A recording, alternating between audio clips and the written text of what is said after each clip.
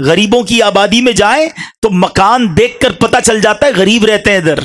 अमीर के इलाके में जाएँ तो कोठियाँ देखकर समझ आ जाता है कि इन कोठियों में अमीर और सुकून से रहने वाले रह रहे हैं। मगर कब्रों को देखकर पता नहीं चलता।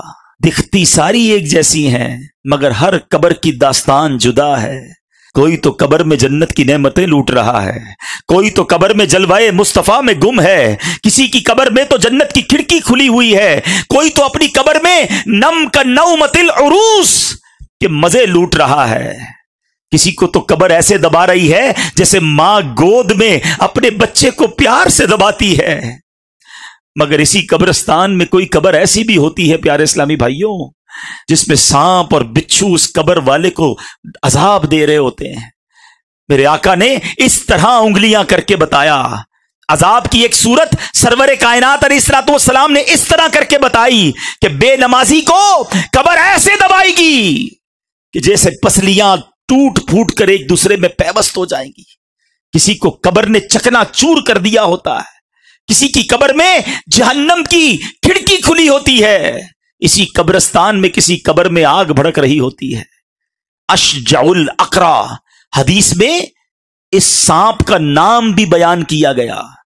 अल्लाह जिससे नाराज़ हो, अशजाउल अकरा, अंधा सांप है, जो कब्र में मुर्दे को डंक मारेगा तो सत्तर गज मुर्दा ज़मीन में धस जाएगा। ये अजाब भी अहदीस में ही बयान हुए। मगर कब्रस्तान जाकर पता नहीं चलता। मगर इन कब्रों के अंदर ये सब कुछ हो रहा होता है।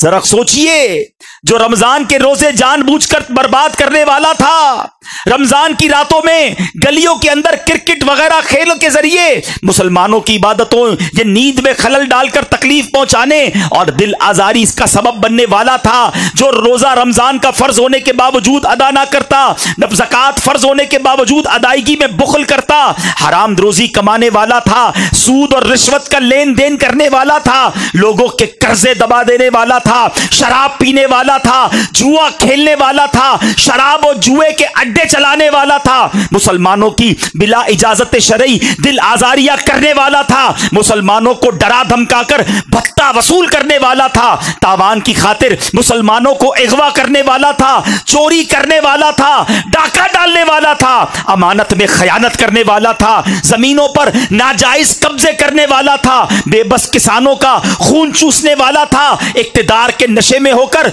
लोगों पर जुल्म करने वाला था। वो सोचे कि जब वो कब्र में जाएगा तो फिर उसका क्या हाल होगा?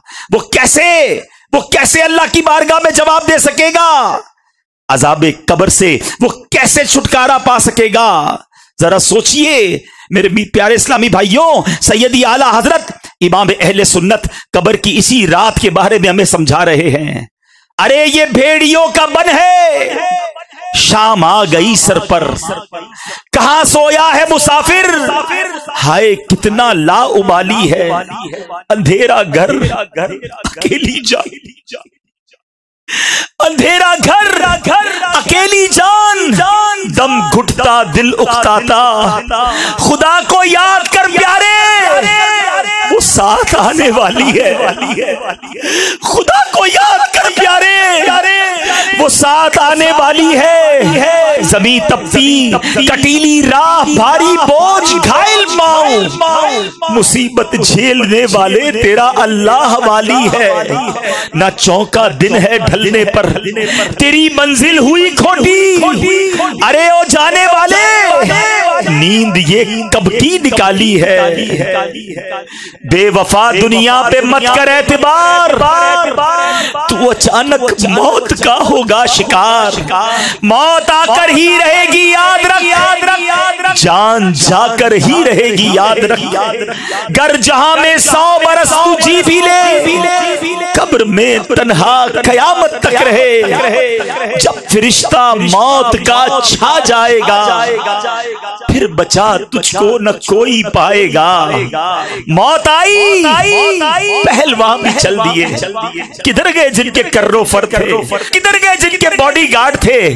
किधर गए जिनकी आगे पीछे लोग घूमते थे? जो कहते थे मुझसे आँखें ना मिलाया करो। मेरे सामने कोई खड़ा नहीं रह सकता। मैं चूटी की तरह मसल देता हूँ। मेरे सामने ऊँची आवाज़ में बात ना करना। तुम्हारा बेड़ा गरक कर दूँगा। तुम मेरा कुछ नहीं बिगाड़ सकते। जिनके पैर ज़मीन पे नहीं रहते थे वो आज किधर गए? मौत आई। पहलवा भी चल दिए।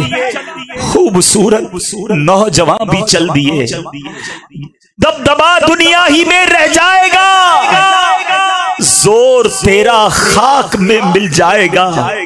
तेरी ताकत तेरा फन तेरा फन ओहदा तेरा। कुछ ना काम आएगा सरमाया तेरा। बंदा कहता है पैसे होने चाहिए। ज़िंदगी पुरसकून गुजरेगी। इतने पैसा जमा कर लू, फिर सुकून से जीऊँगा। मगर जब कब्र में जाएँगे ना तो कोई तिजोरी नहीं होगी। कफन में कोई जेब नहीं होगा। ये सारा सरमाया इधर ही रह जाएगा। और अगर अल्लाह नाराज़ हुआ तो मैं अकेला कब्र में क्या करूँगा? सोचो। तेरी ताकत ताकत तेरा फन तेरा फन ओहदा तेरा। तेरा ओहदों के पीछे भागने वालों, कोई सीट मिल जाए, कोई ओहदा मिल जाए, ऐसी फ़ाइल आगे बढ़ाऊं कि चेयरमैन बन जाऊँ, किसी सोसाइटी का सदर बन जाऊँ, किसी तरह कोई सीट मिल जाए। कितने दिन इस कुर्सी के मज़े करोगे? तेरी ताकत तेरी ताकत तेरा फन तेरा फन। ओहदा तेरा तेरा। कुछ न काम आएगा सरमाया तेरा तेरा। कब रोज़ाना ये करती है पुकार। सुनो कब्र रोज क्या पुकार रही है? कब्र रोज़ाना ये करती है पुकार। मुझमें है कीड़े मकोड़े बेशुमार। याद रख तुझको होगी मुझमें सुन में सुन वहशत बड़ी बड़ी। मेरे अंदर मेरे अंदर तू अकेला आएगा। आज बंदा कहता है मैं अकेला कहीं नहीं जाता। सब जगह दोस्त चाहिए घूमने फिरने के लिए दोस्त चाहिए। जिधर जाता हूँ मेरे संगी मेरे बेली मेरे दोस्त साथ होते हैं। कब्र में कोई साथ नहीं आएगा।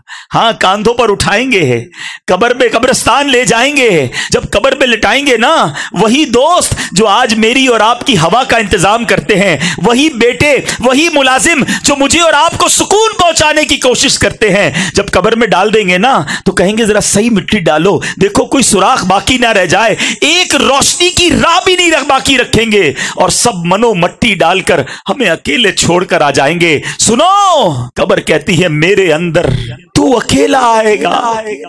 मेरे अंदर तू अकेला आएगा। हाँ मगर आमान लेता आएगा। नरम बिस्तर घर पे ही रह जाएँगे। वो वाला तकिया चाहिए। नरम बिस्तर चाहिए। मेरा पसंद का मुझे चादर चाहिए। नरम बिस्तर घर पे ही रह जाएँगे। तुझको फर्शे खाक पर दफनाएँगे। गुप्पदेरी कब्र में जब जाएगा, बेअमल बे इंतहा घबराएगा। काम मालो जर न कुछ आएगा। गाफिल इंसान याद रख पछताएगा। जब तेरे साथी तुझे छोड़ आएँगे, कब्र में कीड़े तुझे खा जाएँगे, कब्र में तेरा कफन फट जाएगा। याद रख नाजुक बदन फट जाएगा। छोटा सा कीड़ा काट लेना। रात मच्छर काट ले तो नींद नहीं आती। बिस्तर में खटबल घुस जाए तो चैन नहीं आता। है? एक डंक मारने के बाद हम कितने दिनों तक एलर्जी की दवाएँ खाते रहते हैं? जरा सोचो जब जिसम फटेगा तेरा एक एक बाल तक झड़ जाएगा। खूबसूरत जिस्म जिस्म सब सड़ जाएगा। आह उबल कर आँख भी बह जाएगी। जाएगी। खाल उधड़ कर उधड़कर कब्र में रह जाएगी। सांप बिच्छू कब्र में गरा गए। क्या करेगा बेअमल? बेअमल कर छा गए।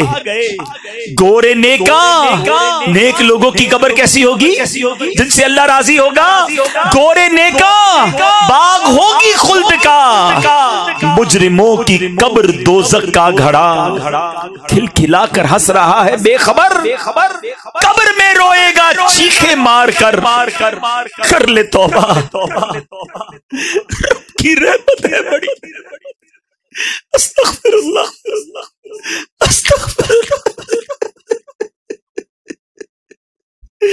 कर ले तो रब की रहमत है बड़ी। कब तक अल्लाह को नाराज़ करेंगे? कब तक नमाजें कजा करेंगे? कब तक अल्लाह की नाफरमानी वाले हम काम करेंगे। अरे, आज भी मर सकते हैं। कौन आएगा बचाने कब्र में? आओ! इस इज्तवा में तोबा करो।